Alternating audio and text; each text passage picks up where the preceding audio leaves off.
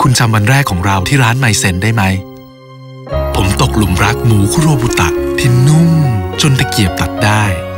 แถมยังแพ้ความดีของเกล็ดขนมปังที่กรอบเป็นพิเศษ และซอสแอปเปิลสูตรเฉพาะยิ่งทำให้ผมมั่นใจมากขึ้น นี่แหละคือสิ่งที่ผมตามหามาทั้งชีวิต แต่งงานกับผมนะครับไมเซนที่สุดของความอร่อยในชีวิตที่ไม่เคยลืม